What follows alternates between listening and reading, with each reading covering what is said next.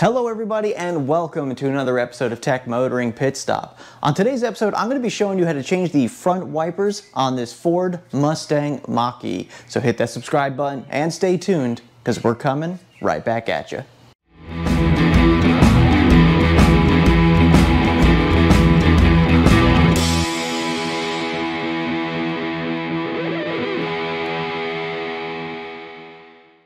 All right, everybody, well, welcome back. So like I was saying, we're gonna be changing out these front wipers on this Mustang Mach-E. Now, it's a pretty easy process to change out these wiper blades. It's not the standard J-hook style like a lot of cars and manufacturers use nowadays, but actually this is probably a little easier than that. So let's go ahead and dive in and take a look. Now, the first thing I always like to do is, of course, clean the windshield. So clean your windshield because it's always good to put brand new wipers on a nice, clean windshield.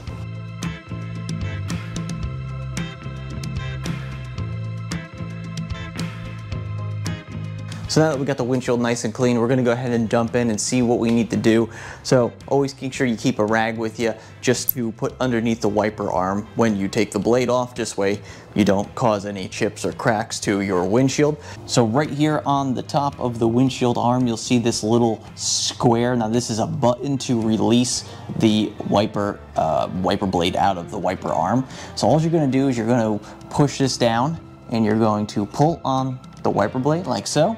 I'm gonna take my towel, stick it under there right now, and then I'm gonna pull out the wiper blade like so. And then once it gets to the end, it gets a little caught. Just give it a little bit of a jiggle and it comes out just like that. Okay, so now that you got the wiper blade off the car, you get your new wiper blade, and then of course you need to make sure you have the proper adapter on the wiper blade in order for it to connect back in. So make sure when you go through the box of all the adapters, you pick the, the correct adapter for your vehicle, as that is extremely important in this case. Once you get the wiper blade all together and you got the proper adapter on it, all you're gonna do is the opposite to slide it back in. You're just gonna line up the wiper like you see here and push the button in just a little bit to let the wiper slide in the slot like that and then just bring it in and there we go. Once you see the button come through the top of the wiper like so, you are all set to go. And once you do one, the second one is just as easy.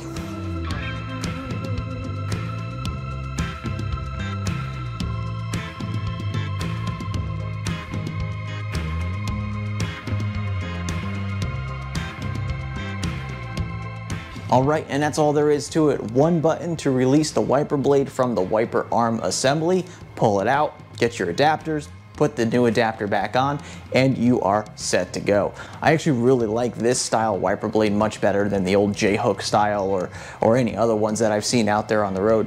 This is really, really nice, so I'm kind of glad that Ford is adopting this method, especially on the Mustang Mach-E.